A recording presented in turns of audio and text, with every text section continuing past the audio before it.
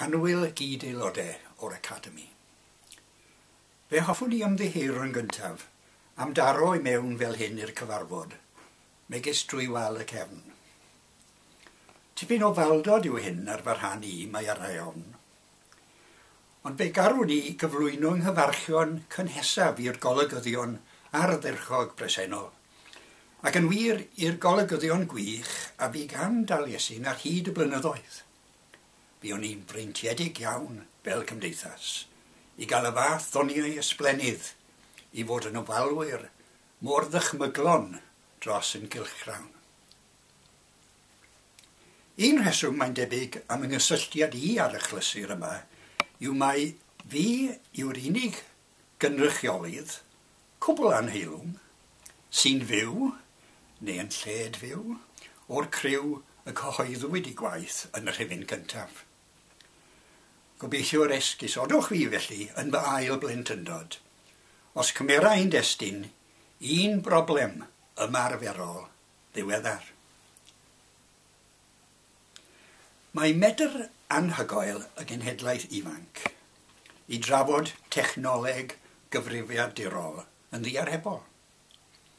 Gyda'r genhedlaeth hon o bobl ifanc sy'n codi, Mae llawer iawn ohonyn nhw eisoes yn byw a bod o flaen i cyfrifiadur am oriau.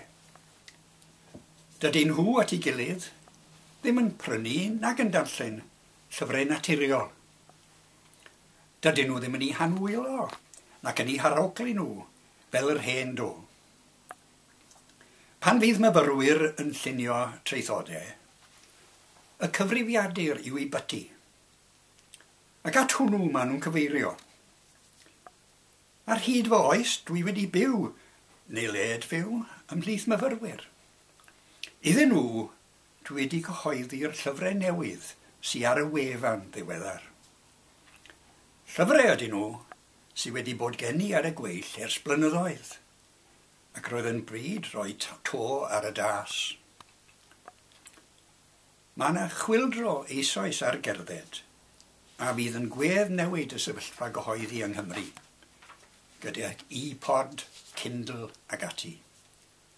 Mae eisoes yn effeithio ar siopau llyfrau, papurau newydd, llyfrgelloedd. Ar hyn o bryd, y Llyfrgell Genedlaethol sy'n arwain Cymru mewn modd tra effeithiol o safbwynt llenyddiaeth. Wrth siarad â ffrindiau am y peth, gofynnes sut mae pobl yn gwybod am fodolaeth am bell eitem yn anialwch y we. Mae'r Llyfrgell Genedlaethol wedi trafod hyn gyda chylchronau. Ond sut wedwch y bydd pobl yn clywed a oes na rhywun arall wedi gyhoeddi cyfrol o gerddi ar y we? Maen nhw'n gwybod am Dafydd ap Gwilym a gan Griffiths, ond oes na rhywun cyfoes yn yr anialwch acw y dylwn wybod amdano fe neu amdani hi? Oes, siŵr o fod. A na rhywun er enghraifft wedi cyhoeddi nofelau detectif Cymraeg ar y we, meddyn nhw. Pwy? Sut mae gwybod am bethau felly?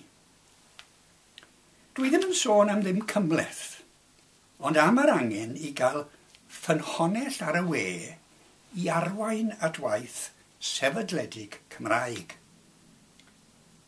Mae llyfrau ar y we yn amlhau ac yn mynd i fonopoleuddio'r cwbl o'r maes. Gwaith ffynhonell o'r fath fyddai e cyfeirio at leoliad y gwefannau sefydlog Cymraeg, rywle yng nghymysgedd rhyfedd y we fyd-eang. Chwiliais eisoes o dan benawdau gwahanol. Llenyddiaeth Cymru, barddoniaeth, nofelau, dramau, ond pryn iawn iawn oedd y cymorth. Gwn i fod yna beth cymorth presennol eisoes ar gael. Hyd yn oed elfen o fynegeo neu groesgyfeirio.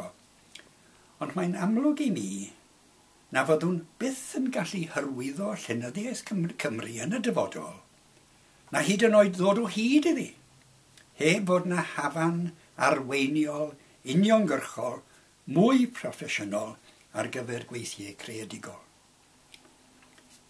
Gwych iawn yw'r gwaith eisoes ar gerdded gan y Llyfrgell Genedlaethol y maes gylchgronau. Ond mae angen meddwl ymlaen llaw ar unwaith am lyfrau Cymraeg. Mae angen trafod amgylchiadau gyhoeddi. Nad oes dim mwy chwildradol wedi digwydd iddo ers dyfeisio'r argraffwasg. Ac mae'n rhaid i aelodau'r academi fod yn effro i hyn. Cwestiwn sy'n codi yn fy meddwl i yw, Sut y gall awduron, drwy gyfrwng yr academi falle, gefnogi'r arweiniad sydd eisoes wedi dechrau ymffurfio gan y llyfrgell genedlaethol, a dysgu gan y llyfrgell arferchog honno yn ddiau. Byddwn i'n syniad, a byddai'n fuddiol pe bai Llenyddiaeth Cymru, sef yn cymdeithas ni, yn gallu symud i'r cyfeiriad hwn o ddarparu cronfa ddata – eitha cryno ar gyfer unrhyw ymoliadau uniongyrchol i'n swyddfa, boi drwy'r we neu drwy'r post neu'n fod bersonol. Gallu dechrau nawr. Mae eisiau cadw rhestr foel neu fynegau debyg i'r un sydd ar gyfer cilchgronau mewn saith rhan. Un, pynciau. Dau, ffurfiau. Tri, awduron.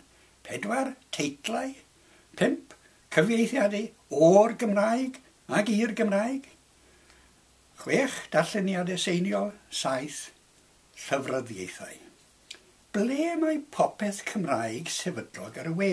Popeth a fydd yn aros yn nhw o'r presennol hyd rhagwyddoldeb, a heb fynd allan o brint byth. Dim ond mater yw o gadw'r data a chyfarwyddyd ar hafan o wefan. Dyweder dan hen deitl Llenyddiaeth Cymru gan fod disgwyl i'n sefydliad ni fod ar gael i roi gwybodaeth am lenyddiaeth, beth bynnag yw'n barn bersonol am ansawdd a chynnwys y gweithiau, bodolaeth y gwaith o fewn yr iaith Gymraeg ar wefan, ar wefan sefydlog. Boed am ddim neu am bris, dyna'r unig griterion cywir. Di ai y bydd chwildro mawr yn anochel pan ddaw yn ystod y deng mlynedd nesaf.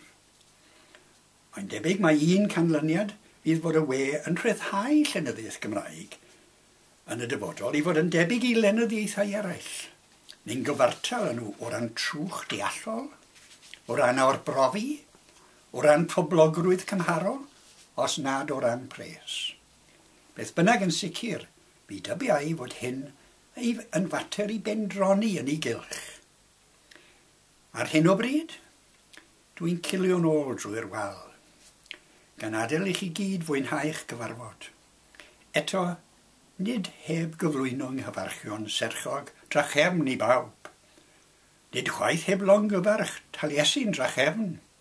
Cilchgrawn a fydd yn dal i fod, os ar ffurf ychydig yn newydd, yn hanfodol i lenyddiaeth greadigol dyfodol. Gawn ni fybyrio am y posibiliadau. I traveled.